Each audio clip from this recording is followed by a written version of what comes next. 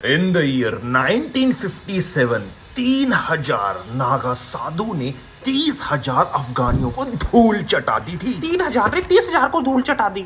वो भी पतले से नागा साधु हंसो हंसो कई लोग हंसेंगे। अफगानी भी हँसी रहे थे। जब वो देख रहे थे ना गोकुल में तीन हज़ार नंगे साधु हमारी तरफ़ आ रहे त्रिशूल तलवार क्योंकि अफगानियों ने सोचा, वृंदावन मथुरा तो खत्म कर दिया नष्ट कर दिया वहाँ की औरतों को तो यमुना नदी में कूदना पड़ा, क्योंकि ये दरिंदे रेप करने दौड़ रहे थे। तो उन्होंने जब गोकुल के ये साधु देखे, नागा साधु, हरा देंगे।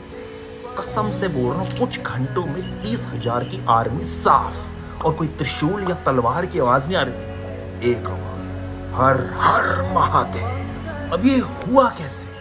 वीडियो का लिंक कमेंट सेक्शन में। पर आपको शायद से इंटरेस्ट ना होगा, आपको इन सारी एड्स में इंटरेस्ट आ